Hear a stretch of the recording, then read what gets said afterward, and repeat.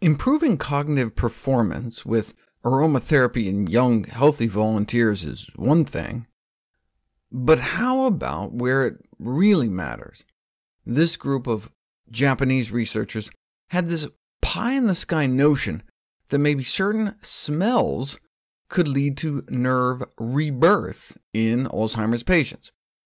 20 years ago, to even raise such a possibility as a hypothetical was heretical.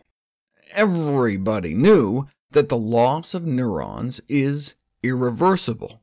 In other words, dead nerve cells are not replaced.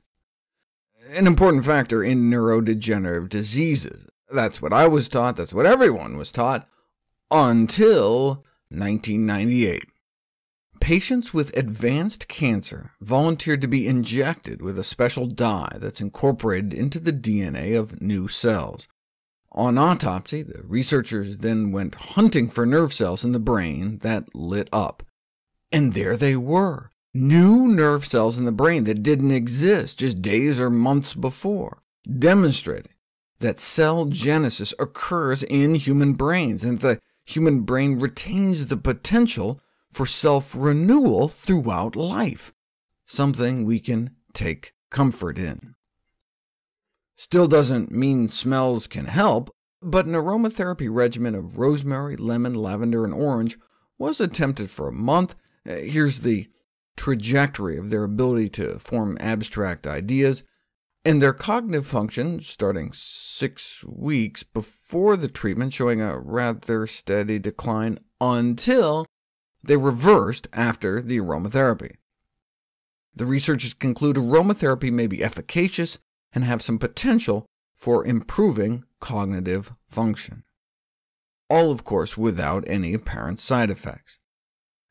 What about severe dementia? We always hear about the cognitive deficits, but more than half of patients with dementia experience behavioral or psychiatric symptoms. Thorazine-type antipsychotic drugs are often prescribed, even though they appear to be particularly dangerous in the elderly.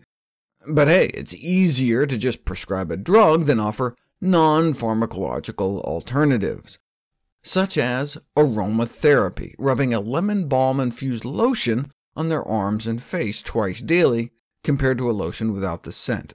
Everybody got rubbed, but in the lemon balm group, significant improvements in agitation, shouting, screaming, and physical aggression, and improve quality of life indicators, less socially withdrawn, more engagement in constructive activities. That's important because when you give the antipsychotics, patients become more withdrawn, less engaged. It's like a chemical restraint.